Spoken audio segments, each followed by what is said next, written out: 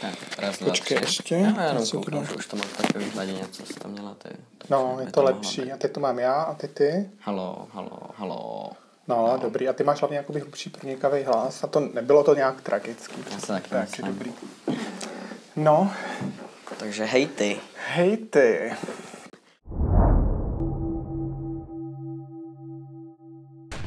Bych asi začal jenom tím, že můžou přijít fakt od kohokoliv.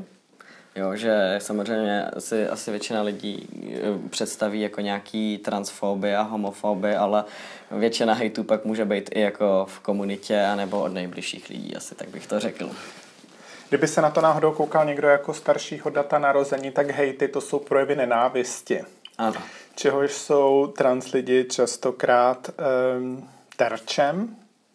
To určitě. Trans lidi byli terčem eh, projevu nenávisti i od prostě hlavy státu. Ano. Jo, já, tak já dělám, tak teď už zase můžu dělat Zemana, když Ano. už není v nemocnici, tak je to dobrý. Tak. Naše hlava státu řekla, že kdo je mi opravdu bytostně odporní, to jsou tihleti No. transgender. Teď, a pak tam něco říkal, Tak jako tam- že kdo si dobrovolně nechal zmrzačit svoje tělo, Ano, ano. Takovýhle. Přesně tak, přesně tak. Hm? Čímž teda ale za, zároveň jako rozjel skvělou jako publicitu, Jo. protože jako, Myslím si, že se o to začal, začali zajímat lidi, kteří se o to do té doby neza, který se o to nezajímali a že jakoby ten Miloš Zeman tolik lidí zase jako štve, že vlastně Jo. Se spousta lidí jakoby dala na tu naší stranu. Že Jo, já si myslím, že i jako tím, že jsme se jako ozvali, bych řekl tak nějak jako komunitně, že jako Hmm. za ženy, že jo, třeba dělala to video a tak dále.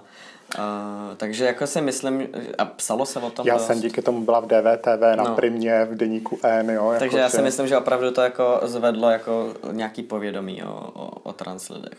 Hmm. A doufám, že teda v tom pozitivním světle, protože si myslím, že jsme se ozvali a nic negativního. No a oni jsou hejty osobní a jsou hejty takový ty anonymní na těch sociálních sítích a na těch Jo. různých novinkách a i dnesech, že jo. Určitě. Myslím si, že ty hejty Nebo na TikToku. os, osobní jsou asi jako daleko horší, jak se jako s nima vyrovnávat. Já jsem se teda vlastně nesetkala úplně. Já jsem měla jakoby v tom takovém kritickém období, kdy jsem měla takový androgenní vzhled, neměla jsem ještě, byla jsem jako v procesu té přeměny, tak na mě jako párkrát pokřikovali něco, nějaký dělníci prostě u výkopu a já jsem to ignorovala a šla jsem dál. Nebo ten bezdomovec, víte, jak si říká, byl pišný, že tě odhalil. Ten bezdomovec, že mě co? jakoby odhalil a ten byl úplně jako světej. Jako, jako to. Jo, to se stalo taky, no. To je asi před rokem. Mhm. A mm, Tak já bych řekl, že jako jako ignorace je nejlepší jako řešení, ale jako asi ne vždycky to jde, když je to někdo prostě jako úplně blízký a tak. To jako přece záleží, jestli to jako někdo takhle na, na veřejnost někde ven, venku, že jo, jako, že to taky naměřují, že jsem hnusná lesba nebo něco A ono to může být třeba otec, jo, nebo to To může už být... je právě ten rozdíl, jo? když je to jako někdo takhle cizí, ven, že jako někoho vidí a, myslí si, jaký je frajer, a když je to někdo prostě z rodiny nebo z okruhu blízkých přátel, že jo. Přitom jako nejdůležitější je uvědomit si, že vlastně trans lidi si procházejí nějakým prostě těžkým obdobím a je to jejich věc, jejich tělo, jejich život a nikomu tím neubližujeme.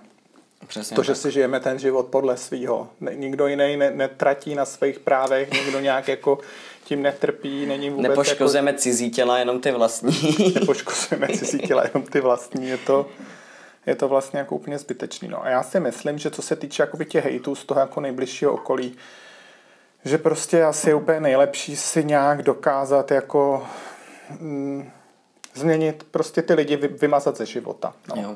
Když je to třeba v rodině, no tak hold prostě udělat všechno pro to, aby se mohla prostě z té rodiny utíct a zalo- zažít, začít třeba život v jiném městě. Když je to v práci, tak prostě věnovat co nejvíc té energie, jako na, na, tím najít si jinou práci. To jako určitě zase bych jenom řekl, že je to takový jako extrémní řešení, že nemusíte hned utíkat z domova, že to zase člověk může taky snažit vysvětlit, ale záleží na tom, jak to jestli to mají funguje, nastavení. jestli no. prostě po půl roce je to, se to furt, může. může se to zkusit, dát těm lidem nějakou jako šanci, no. A e, nevypnul s voněním. Ne, mám brnění. Jo, nevypnul se s brněním. Takže to je takový těžký, no. Co se týče těch hejtů na těch sociálních sítích, tyjo, eh, hele, taky asi jako ignorovat. Já mám třeba takovou techniku, že vlastně, když je to na mém území, na mém YouTube, na mém Facebooku, na mém Instagramu, tak jdu okamžitě do blokace. Vůbec mm-hmm. jako tím netrávím a přijde mi to takový jako vtipný, že ten člověk musel mm-hmm. prostě jako trávit čas tím, že tam něco prostě jako rozohněně napíše a já udělám jenom klik, klik, bum a je po všem. Mm-hmm. Jo, a on už někdy jako nepřijde znovu. A strašně moc tam funguje ten stádní efekt. Mm-hmm. Jo, že vlastně já už jsem teďko zjistila, že třeba na mém YouTube Jednak ten YouTube má nějaký automatický algoritmus na ty hejty, že už to rovnou prostě tam nějak jako si předtřiďuje. A jednak jako když ty lidi eh, oni se jako nabalujou. Mm-hmm. To znamená vždycky, jako oni jsou to většinou jako srabíci, dost často to bývají i třeba děti. Mm-hmm. Stalo se třeba, že ve Jsme fair tam někdo vyhrožoval fakt jako, že je postřílí a tak a oni opravdu jako kontaktovali policii a mm-hmm. dohledali ho. Mm-hmm. A byl to prostě nějaký úplně rozklepaný 14-letý kluk, jo, prostě, který pak teda jako, nevím, maminka si zakázala počítač, nebo nevím, prostě jak to dopadlo. Zakaž to sociální sítě. No, ale oni ty lidi vlastně se jakoby nabalujou. To znamená, že když oni prostě přijdou do té diskuze a tam nevidějí ty hejty od těch jiných, tak oni už se jakoby mm-hmm. nepřidávají. Jo, jo, jo. Takže to funguje fakt perfektně a i jsem se třeba divila, když jsem koukala na nějaký třeba facebookový zdi nějakých jiných lidí, že tam prostě mají nějaký hejty a já mhm. říkám, proč ty lidi nezablokuješ? Mhm. To prostě nejsou tvoji kamarádi, jako... Jo, jako určitě, myslím si, že hlavně třeba někdo, kdo by třeba i napsal jako ten nenávistný komentář, tak když tam jako koukne do těch komentářů vidí tam ty pozitivní, tak hmm. si řekne, aha, no, tak jsem třeba i spíš, než když tam samozřejmě vidí nějaký, který by podporoval. Co se týče jako mých osob, jako osobně jako hejtu nějakých sociálních sítí, tak u mě to asi na TikToku, jako na Instagram málo kdy, protože tam nemám takových lidí, nemyslím si, že tam mám takový okruh, aby se ke mně dostávali ty lidi a když už se ke mně nějaký lidi dostanou, tak přes nějaký hashtagy a tak dále, takže většinou aspoň jako mají zájem mě sledovat a ne jako hejtovat, bych řekl. Ale co se třeba týče TikToku, ten, že třeba tam vyskakují ty videa vlastně každému, tak tam jo. Ale já to zase jako nemažu. Já si říkám prostě, ať, proč na se mhm. kouknu, jakoby, jak je ten člověk svým způsobem jako na tom buď inteligenčně nebo, nebo jako mentálně e, nastaven a jako mě to je jedno, protože zase já to mám nastavený, takže prostě mě se fakt jako nedotkne něco, co řekne někdo cizí, protože vím, že Hele, to absolutně mě, mě nepovídá. Mě taky ne, ale mě vadí potom, jakou to vytváří jako mm-hmm. atmosféru a energii. Mm-hmm. Jo? A mhm. já třeba chci, aby tenhle kanál byl takový jako kdyby safe space mm-hmm. pro ty trans lidi, aby to tady bylo takový vřelý a přijímací a prostě je no, to tak... moje území, můj domov a tohle to tam nemá to je co jasný, dělat. to je jako úplně jako taky srovnatelně úplně jiná platforma, že jo, takže to je prostě samozřejmé. A tady se to ty lidi pustí na to, aby relaxovali nebo podcast a tak dále, jo, když to tak, tam je, mě, mě, osobně je to tam jako jedno, jo. Mě, teď nedávno je přišlo něco, že uh, by mě poslal do koncentráku někdo.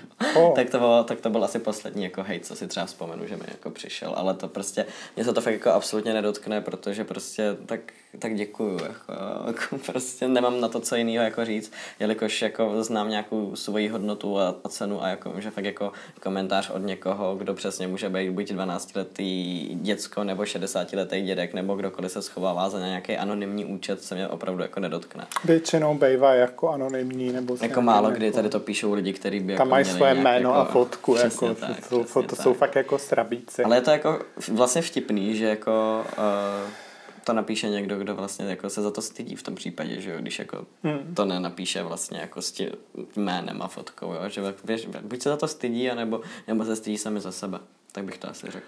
No a já mám pak jakoby to, že jsem samozřejmě dávala nějaký rozhovory do DVTV, na Primu, do iDnesu, jo, a tam už jsou pak diskuse, které jako kdyby nemám pod kontrolou, tam jakoby ty lidi blokovat hmm.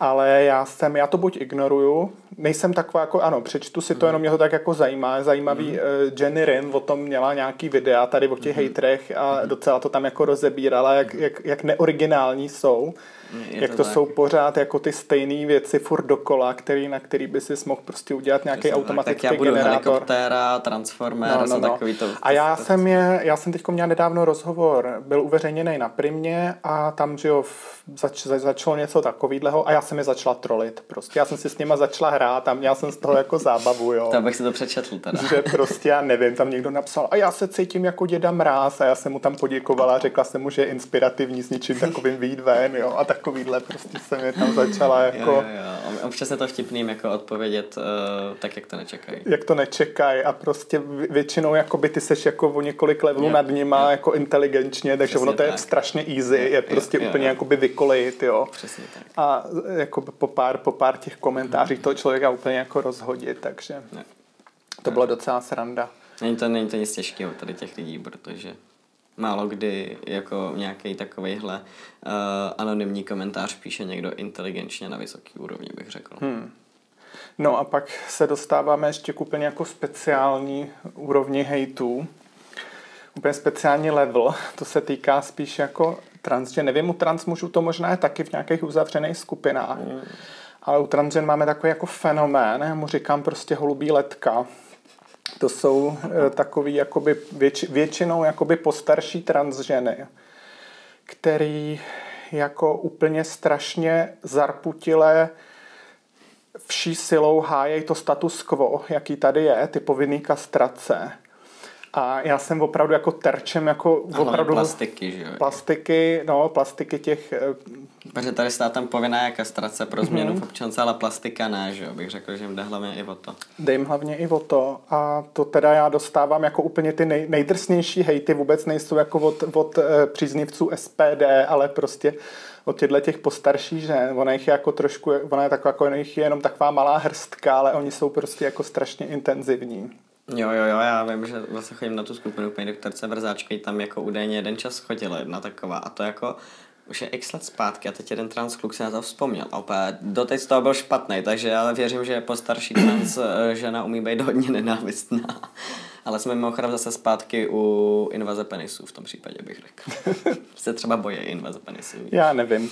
Já si myslím, že tam je to tak, že uh, oni prostě nějak uvěřili té transmedikalistické pohádce, tomu, že prostě jako ta transexualita je ta strašně zákeřná nemoc, která mm-hmm prostě se tou operací vyléčí mm-hmm. a tím oni přestanou být trans a stanou se jako skutečnými ženami.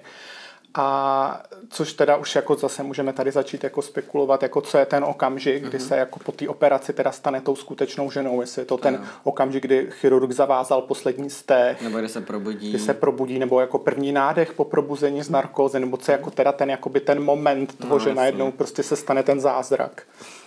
Jo, ale a... taky je možný třeba, že jako závidějí svým způsobem jako by těm lidem, že třeba byli v době, kdy to bylo vlastně pomalu povinný, jo, nebo prostě by hrozně odsuzovali za to. Kdy ani jako dnes... neexistovala jiná možnost, Přesně jo. tak.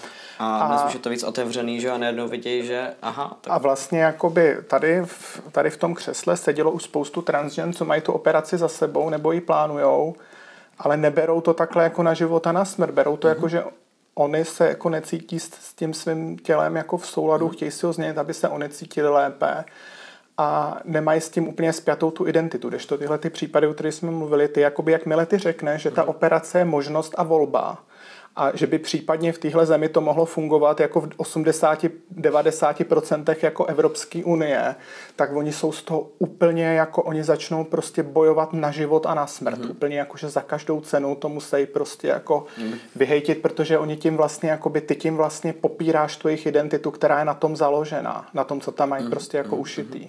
Yeah.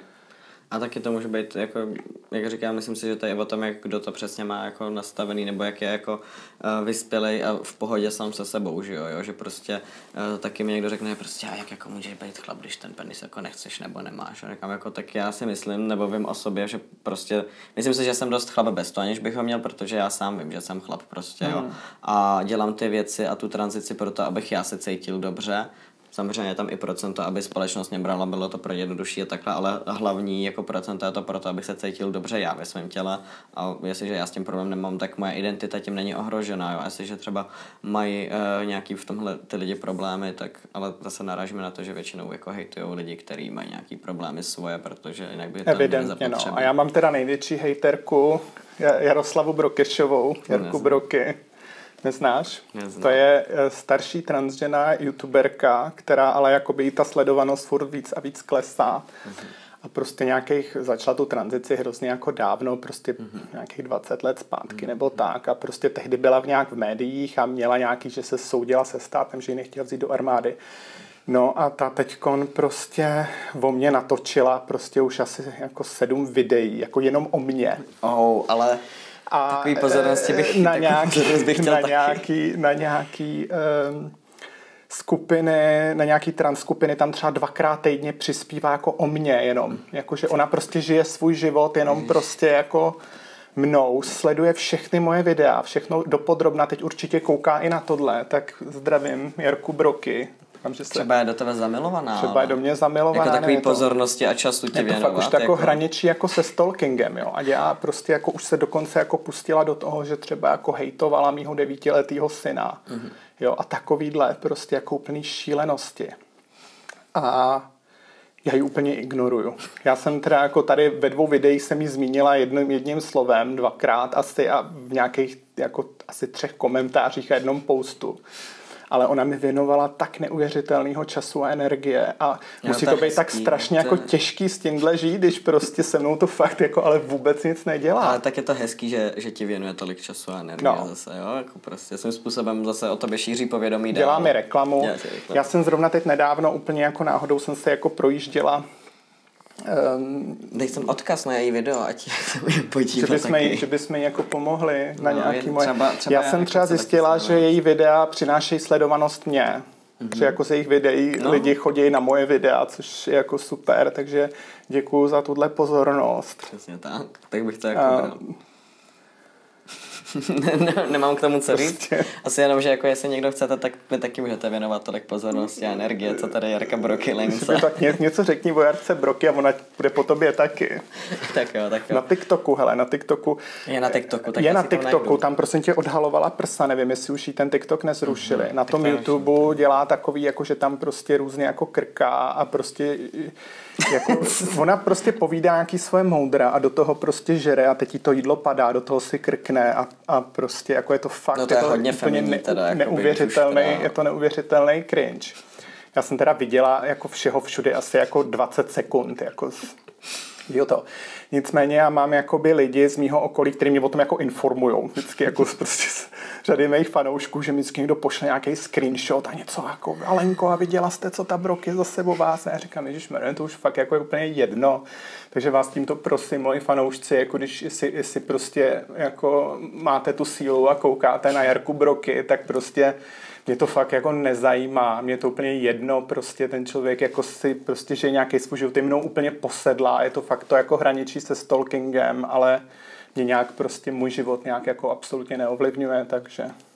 Asi, asi tak bych to no, řekl, jediný. Kdybyste mi neposílali ty screenshoty, jak vůbec nevím, že existuje, že o mě prostě takhle jako dělá takovou masivní produkci. Dělá takovou reklamu. No. By si ji neocenila ani dostatečně. No.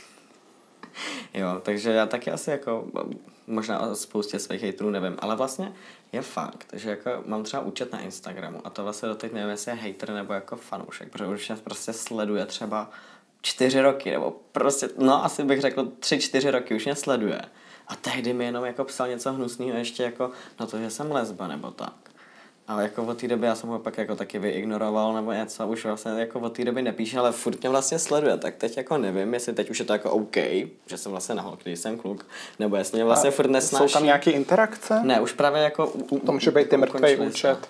No ale ne, on mi jako, no takhle, sledujeme jako story, to jo, jako, ale už mi nic nepíše, takže jo. jako nejsou už žádný nenávistný interakce, ale interakce s mým obsahem ano, takže jako nevím doteď, jako jestli mě furt nesnáší, nebo, nebo jestli už nebo si řek, že já, už je to dobrý, už je to, už je to prostě dobrý, víš co, jako, že mě prostě poznal za ty tři roky, co mě sleduje, nebo já nevím, teda, ne, že bych tam dával Asi tam jako dávám osobní věci, ale zase ne tak, aby mě člověk znal. Nemůže mě, musí to člověk brát s nadsázkou. Ale, ale nevím, no, jestli si řekl, jo, tak vlastně to je v pohodě člověk, anebo jestli už jenom ho nebaví to komentovat. Jinak asi teda je dobrý i říct, že vlastně jako co se týče projevu nenávisti, tak v tom mají transženy trošku jako víc smůlu. To rozhodně. Že prostě trans muži i tím, jak vlastně jako je to hodně jakoby o vizáži, že vlastně jako terčem těch hejtů jsou většinou lidi, co nemají ten passing. Mm-hmm. Takhle prostě Já to, to je a trans muži jsou většinou tak jako splynou s tím davem a, Jo, a jsou v podstatě jo. neviditelný a nějak nikoho jako nějak to jako ne, nespůsobuje nějaký kontroverze. Já si myslím, že ta nenávist vůči transženám je hodně i jako úplně srostlá z homofobii. Jo, jo. Že to je takový, že když by se prostě nějakému chlapovi líbila nějaká holka a pak prostě najednou zjistil, mm-hmm. že je trans, tak najednou je ty co by bylo. Oh. No. no, tak to je jako strašný problém. Uh, já jsem vlastně chtěl říct, že jako vlastně i třeba spousta kluků před tím passingem, tak tím, že jako pokud nemají passing a bohužel prostě třeba ještě vypadají femině a tak, tak spíš ty hejty se obrací na to, že jo, dobrý, tak seš lesba. Jo, ale zase obecně vůči třeba lesbám míň hejtu bych řekl, než vůči gayům, jo, takže prostě to neodnášejí tolik a pravděpodobně ty transfobové tím, že furt je jako berou, já nevím, jako holky, tak si třeba nedovolej, nebo já nevím, jestli tolik, co jako když si řeknou, jo, to je chlap. Jo, hmm. jakože když jsou fakt transfobní a neberou, že jo, prostě ten gender toho člověka, tak si řeknou, no, tak to je hnusný chlap a spíš do něj jako jedou možná, bych řekl. Nevím, hmm. jak to mají nastavený, ale připadá mi to jako asi jediný logický vysvětlení. To tak jako co pozorujeme, jo, to ne, ne, ne, neopíráme tady o žádný jakoby... Jo, to, to jsou naše dedukce jenom. To jsou naše dedukce, neopíráme to o žádný empirický výzkumy. No, hejty. Jako je, Ještě něco tě napadá k hejtu? Já nevím, co bych k tomu řekl. Jediný, co vlastně, že jsem jednou chtěl dělat rozhovor s Lidí, já nevím, jestli ji sleduješ, ona to je nějaká Mhm. Slovenka, ona je v nějakém hnutí jako prostě mládež, na, jako na, no, no, nacistický, neonacistický vlastně hnutí reálně Aha. to je.